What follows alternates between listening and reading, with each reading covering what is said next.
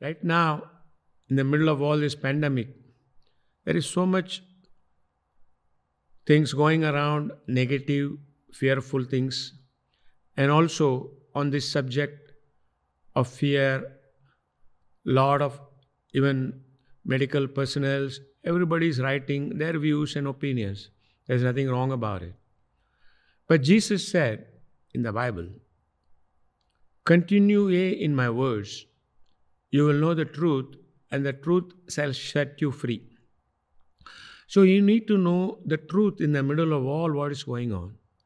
And you get truth only from the Bible because Jesus himself said in John 17, in his prayer, Sanctify them, Father, through your truth, and your word is truth, he said. So we let us go to the word and find out the truth, how to deal with dark nights and difficult days. Dark nights produces in darkness, even in the natural, when it is pitch dark, it causes fear, fearful thinking, fearful feeling when it is pitch dark. Many times all of us experience that. Because fear is a real thing. Like faith is also real. So let us deal with this issue so that we can be successful and happy every day in the middle of all what is going around you. I want to read two scriptures and see how we can apply the word and stay free from all this falsehood going around us. First, in 2 Timothy, I can quote this, I want to read this. In 2 Timothy 1 7, it says, For God has not given us the spirit of fear, but of power and of love and of sound mind. So, spirit of fear, he says. So, fear is a spirit, it's a tangible thing, and that doesn't come from God. Same way, in 2 Corinthians 4:13, this is what the Bible says. I can quote, but I want to read. In 2 Corinthians 4:13 and 14, we having the same spirit of faith, according as it is written, I believed, therefore have I spoken. We also believe, and therefore we speak, knowing that he which raised up the Lord Jesus shall raise up us also by Jesus and shall present us with you. So here you find two kinds of tangible things. Bible says fear is a spirit and faith is also a spirit. We having, no, you and I as believers, we have the spirit of faith living in us. And spirit of fear doesn't come from God. What is how fear is triggered? It all starts in one's mind with a little negative thought, little fear, little worry. Worry is the seed. You worry about things, irrelevant things. You worry, you hear news, oh, 10,000 people have got this, 100,000 people are going to die. In another country, so many people are dying. So when you think and start going on thinking about it, you start worrying, oh, what will happen? What's going to happen? So that small worry leads to fear. You say, oh, because if it, this happens to me, that will cause fear. And once, since it is a spirit, once, just because you think fearful thought means nothing, it becomes real as far as you are concerned when you give life by speaking it through your mouth. You are afraid, okay, grit your teeth and don't talk about what you are afraid. Because you say, Oh, I am afraid, this can happen. Once you give words to your thoughts, they become alive. So, when they become alive, in simple terms, you are yielding to the spirit of fear.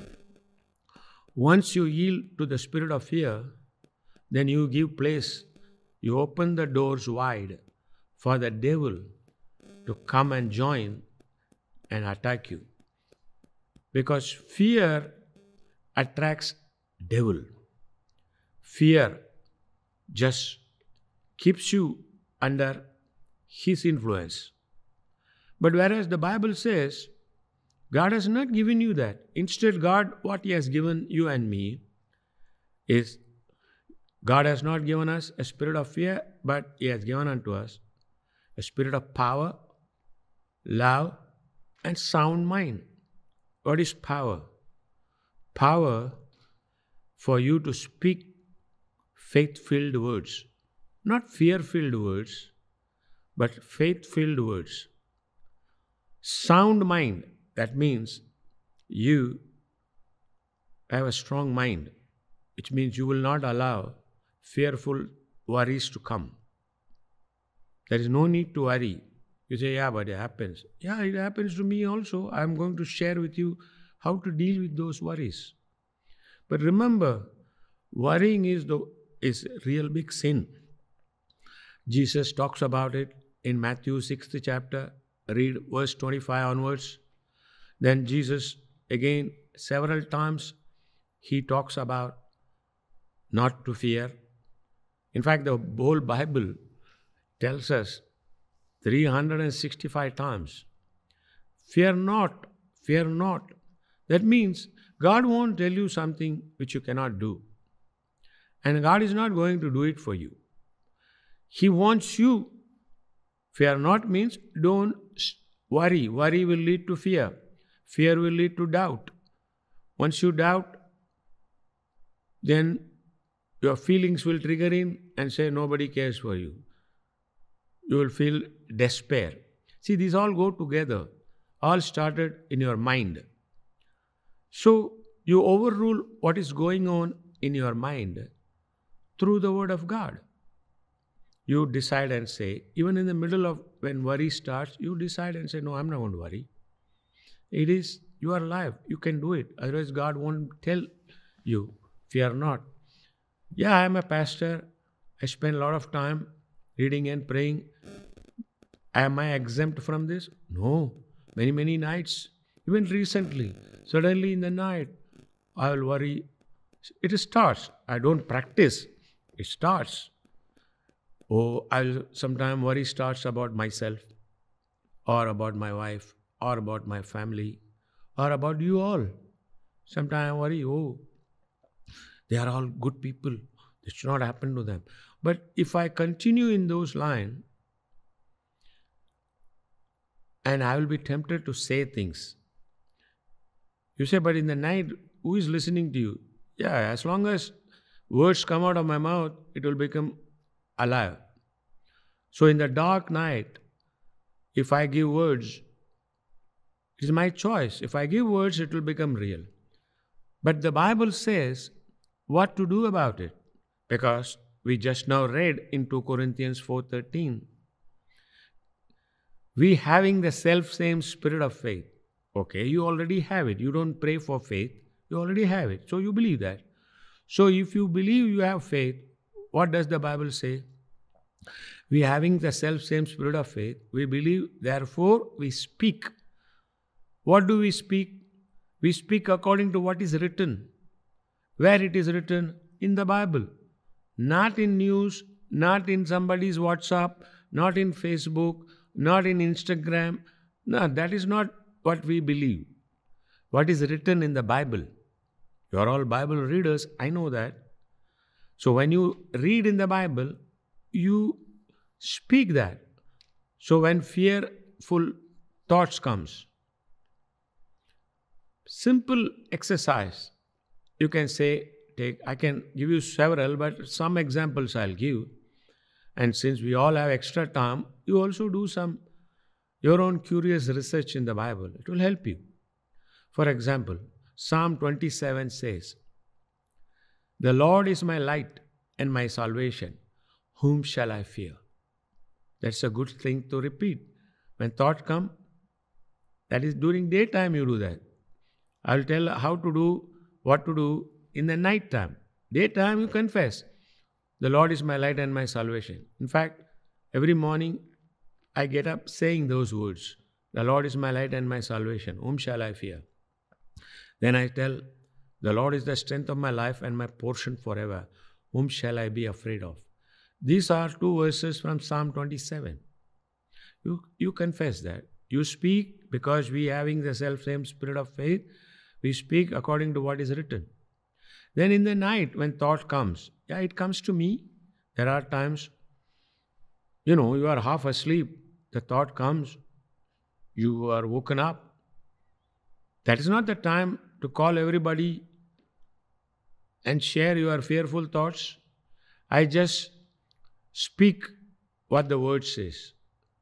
In 2 Corinthians 10th chapter verse 5 says, casting down all vain imagination and false reasoning and every thought that riseth against the knowledge of God. I bring into captivity every single thought to the obedience to the name of Jesus. See, if you keep on repeating that in the night, even though you are half asleep, in your heart, this scripture will rise up. So, under my breath, I'm half asleep. I say, I cast down all vain imagination. See, you have to be sincere. You don't have to complete the whole scripture. But you, you start saying, I cast down all vain imagination in the name of Jesus. Then the worry will stop. Many times, saying half the scripture, I go back to sleep. Again, after some time, it comes in the dark night, you have a different worry. Again, I say, I cast down. Then sometime the worry is stronger than what you confess. What do you do? No, God's word is powerful. So you, you shift gear. In Isaiah 26 3, it says, He keeps him in perfect peace, whose mind is stayed on him, for he trusteth in the Lord. That means you can use that scripture also. So many nights I just say, Lord, I keep my mind stayed on you. You keep me in perfect peace. I trust you. See, you don't have to quote scripture exactly memorized. Just tell the truth of the scripture. Lord, I keep my mind on you. That means mind is used to process thoughts.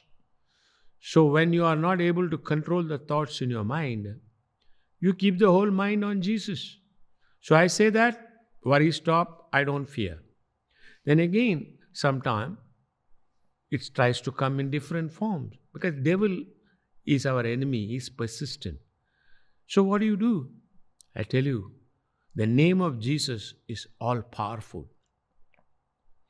So many nights, couple of times, I simply half asleep. See, remember, I not fully thinking. I am half asleep. So under my breath, I keep saying Jesus, Jesus, Jesus. I have practiced this so much. By the time I complete it, within five times I say, Jesus, I'm fast asleep again. So these are the way you overcome fear. Dark nights need not be dark. If you yield and sit in the dark, the more you worry, more fear. The more fear, more doubt. Then, see, you are not using something which is already given. It, are, faith is like a muscle. The more you use, the more stronger you will find, whether it is muscle or faith. So, this is how you use your faith in the middle of the dark night. That is not the time to sit.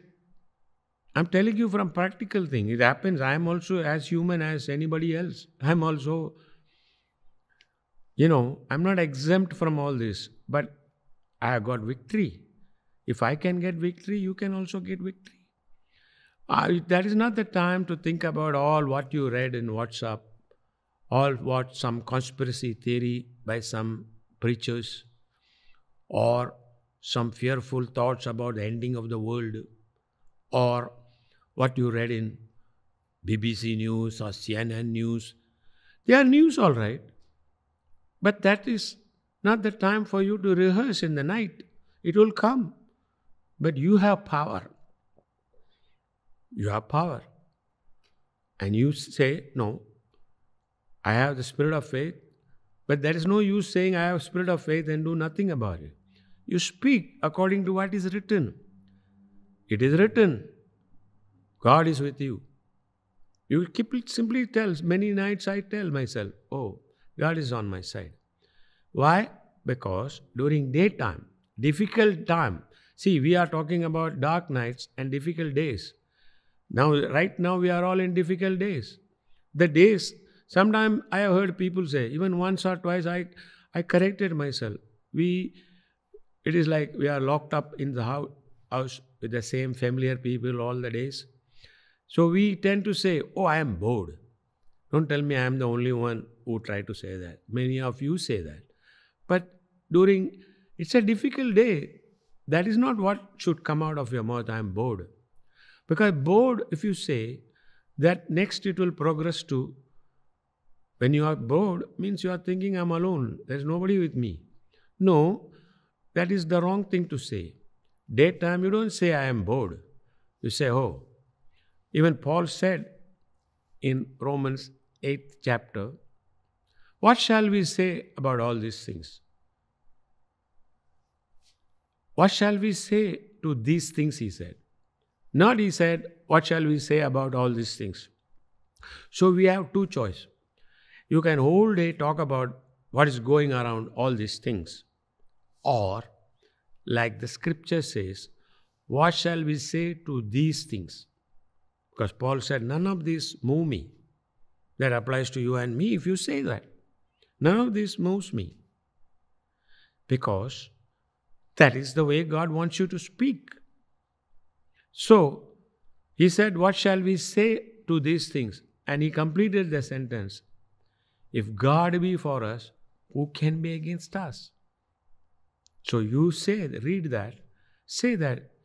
So you don't have to again memorize and say the scripture. Know the scripture and say, Hey, God is with me, God is for me. When you keep repeating, fearful thoughts will not come.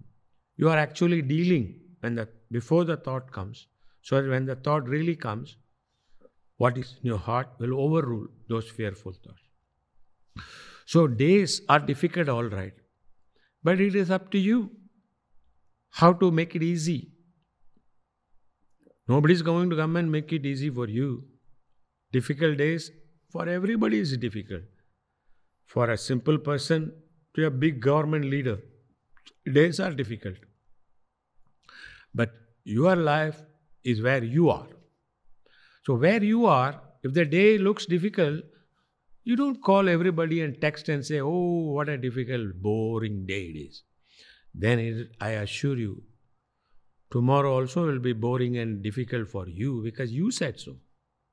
Whereas what the Bible says, this is the day the Lord has made. So it is God who made every day is a gift from God for you and me. So what he says, let us rejoice. What should, why should we rejoice? Because God is with us. You say, I don't feel like it. Who asked you to feel? You believe. You believe God is with you. I don't know about you. I keep saying. So much so, especially in these days, I've been saying so much so Many times he is more real to me than my own family. They are there in flesh and blood. But because I always constantly tell this to me, he becomes real when I sit to pray. Even now, when I'm talking to you, I can sense him. He's with me. You can also sense, it's not a feeling, it is real. We serve a risen Savior. Our God is only God who is real. You want Him real? Speak what He is telling you. Not everybody else is telling you. You have a Bible, I have a Bible. In fact, it is so easily available on your phone. So keep your eyes on that. I'll tell you one more secret. I'm not saying you become like a moron, whole day, that's all you do. No, you can have a life, normal life. Like Every day in the evening, sometime, particularly after lunch, not in the evening. Evening, I spend time in prayer. In the afternoon, I sit with my computer and watch a movie.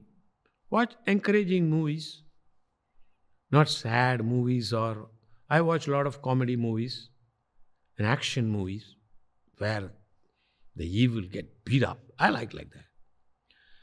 And even while I'm watching, my heart keeps saying things to me. And sometimes, many times, even in the various scenarios, I will try to meditate what the Bible says about this situation. It's a habit. You can form it. You can form good habits. It takes about, they say, 14 days. Hey, even for getting rid of this virus, they say, lock yourself 14 days, isolate. So, 14 days you form a new habit. Keep thinking about what God says. That is called in the Bible meditation, pondering and thinking. Then you will have success. You can overcome dark nights and difficult days because fear is real, but more real is your faith.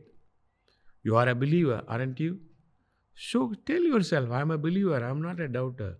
God is on my side. God loves me. This kind of confession will definitely give you success. And it doesn't matter how dark is the night or how difficult it is, the day is. It's up to you and me to make it easy on yourself. With Jesus Christ, all things are possible to him that believeth. Believe that and have a nice day and a safe day. God bless you in Jesus' name.